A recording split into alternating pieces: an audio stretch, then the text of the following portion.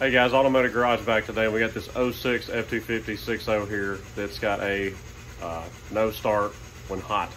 Uh, truck will crank up and run fine right now. You can drive it about 15 minutes, starts losing power. If you drive it hard, it's not going to start back up and you're barely going to limp it back home at that point. So we got a high pressure oil leak somewhere that we narrowed it down to. And I want to show y'all this cool tool that I just recently bought not too long ago that uh, is a good air test tool for checking this high pressure oil system that's better than going through the ICP sensor. Let me show y'all this from Accurate Diesel. So this is your IPR test tool. It screws into the IPR. It's got this really nice valve on it. You just hook your shop air to it. It's just like doing the ICP, but this takes the IPR out of the loop and fixes it where you get an even amount of air to both uh, high pressure oil rails on each head to uh, test the system and find out where your leak is. The other thing I'm using here, which is from Accurate Diesel also, is this uh, IPR socket. Uh, I haven't had one of these. This will be the first time I've used this socket. It'll be it'll be nice having that with the uh, turbo on to use that. So let me show y'all real quick what you remove to get to it and uh, how this goes. All right, so the first thing we're gonna go after is the degas and taking our uh, air intake all off here first.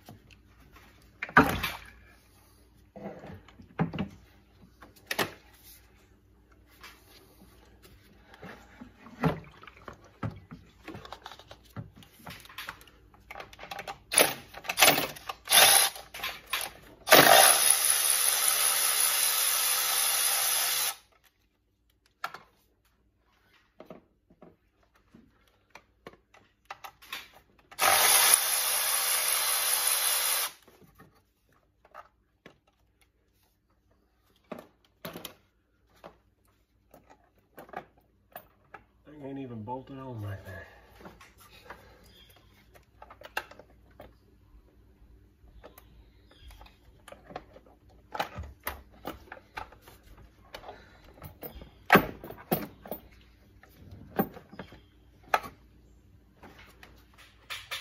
So there's your IPR. Let me get you where you can see it. Right there.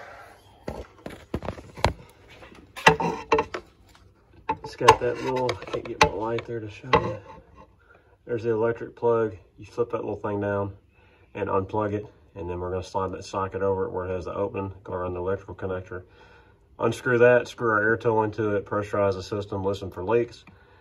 And it's gonna point us in the direction of, do we gotta go after the high pressure oil pump? Is it on one side of the, the motor or another? Uh, which, which side? It's gonna point us in the right direction. So let's get this IPR off.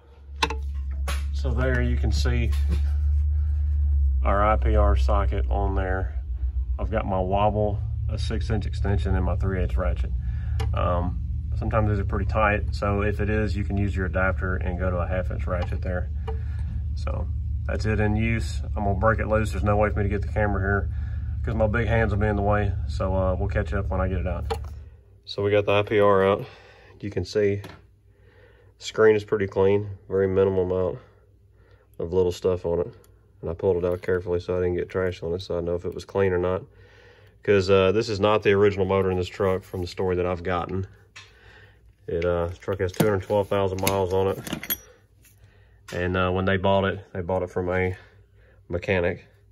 And uh, he said he put a motor in it. It is studded.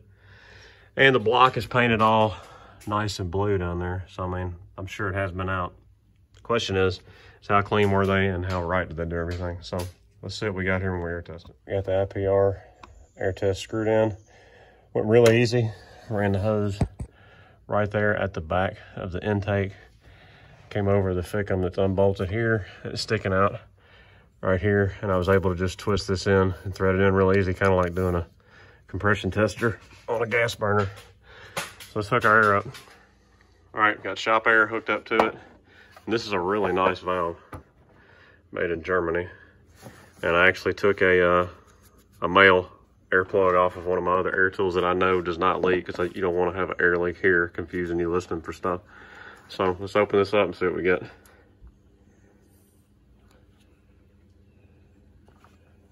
Sometimes it takes a minute.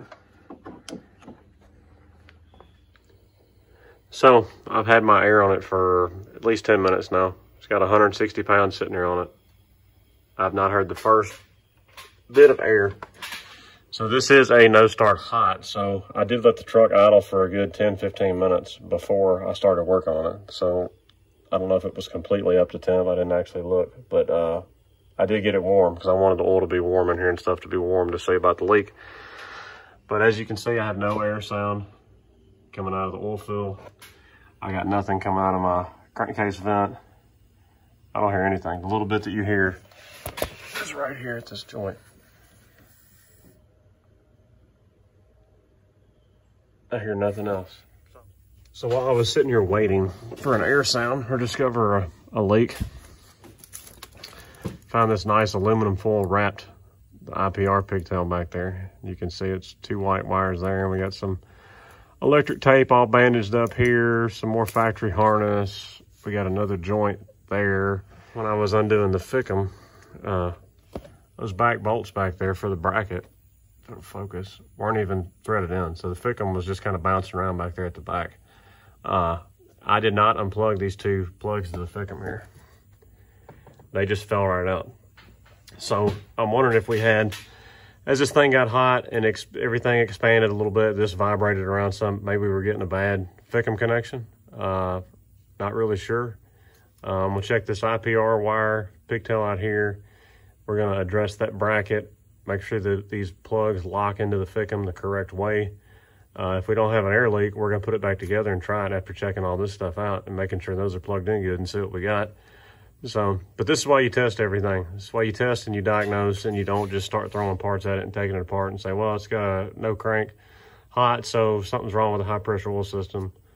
And test it uh, and, and, see what you got. So I'm gonna check this stuff out and I'll get back with y'all. So I uncovered that fantastic electric tape job there. And this is what I found.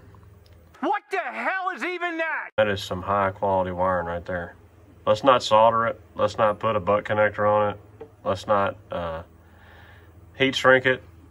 But let's not do anything. Let's just wrap it loosely in some electric tape and let it just kind of flop around together here. Jeez. All right, uh, I'm gonna unwrap the rest of this, see what other kind of mess we have. Uh, fix this right. We're gonna keep the air test going while we're doing this and uh, see what the story is. All right, so we've had our air on here for a little while. And like I said, this is a, a, no crank hot, so it's a little bit harder to trace the leak by sound because it's not to be a wide open leak as if you had a, uh, a no crank cold or no crank anytime at all. So I don't know if you'll be able to hear it or not, but right here at the crankcase vent.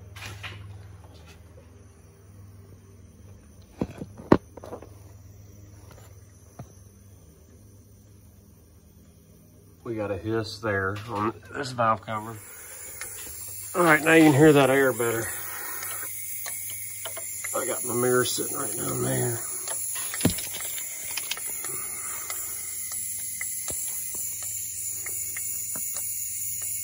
Y'all can see it.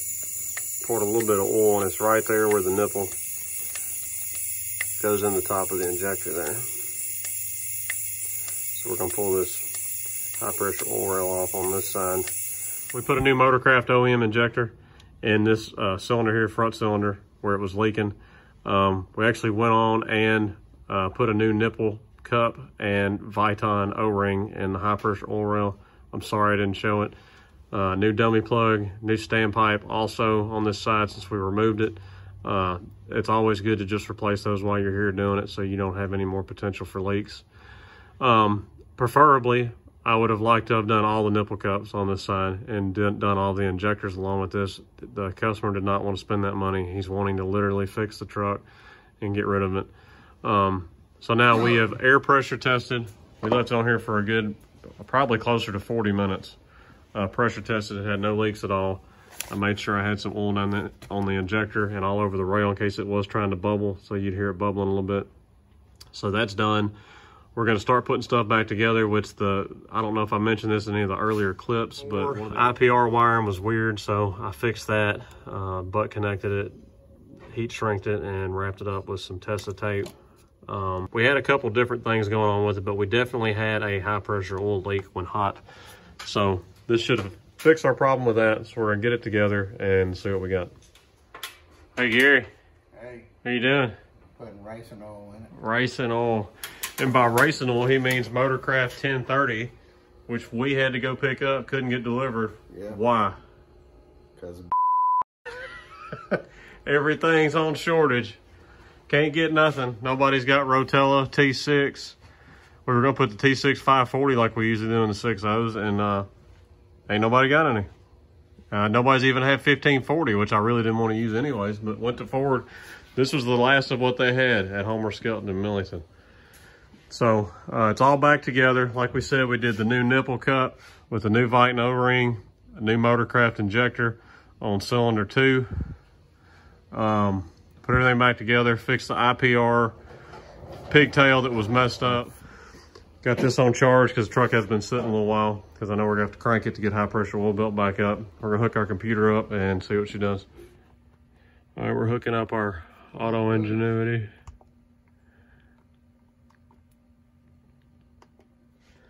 All right, ICP, IPR, Fickum sync, Fickum main power. This will change the one that's communicating with the injectors. This has got to hit 500 to start, and this is probably going to be, because there's a whole lot of air in the system, it's probably going to be dumping max at 83% or whatever right now.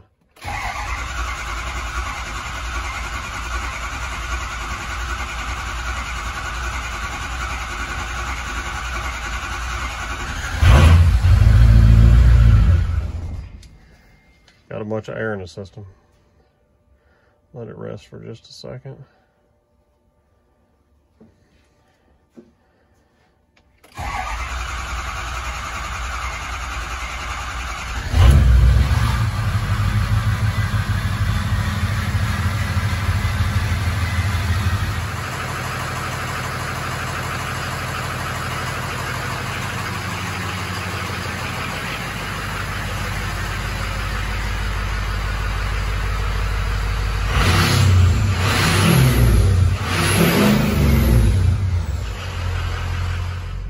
So we went and drove it for a little while.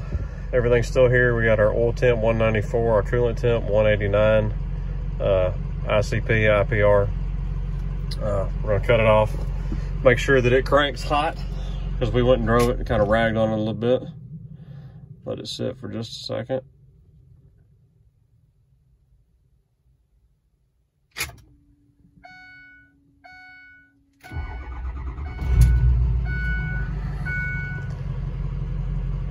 So, we're good to go. All right, guys, so I hope you enjoyed the video on using this cool tool here from Accurate Diesel. If you got a 6.0 or even if you have a 7.3, uh, this isn't quite as critical on it, but really good diagnostic tools. They got good parts. They got O-rings for injectors. Uh, they got your STC fittings. They got uh, OEM Ford injectors. They got everything you need at Accurate Diesel, and they're really good people, and they ship really fast, and I think their prices are really fair also. So I was really just wanting to show how good that air test diagnostic tool works, especially on six liters for testing everything. So after we did this, that's what's so cool is you can fix whatever problem you have, or if you put a whole new set of injectors in, or if you reseal the whole high pressure oil system on here, you can air test that, double check everything before you put it back together and guarantee yourself you don't have leaks pretty much. So uh, this Automedic Garage signing out. Y'all like, subscribe, comment, check us out at Facebook, Instagram, and Rumble. Go check out all of our other videos. Make sure you hit that notification bell. You can see we have new videos coming out. We got the shop build going on right now. Go check out the shop getting built. Hopefully that'll be done here in the next six to eight weeks altogether. Uh, we should be done. I'm gonna be waiting on my garage doors, however, because they're they're way back on back order, just like most other things are right now. So uh, hope y'all enjoyed it. We'll catch y'all later.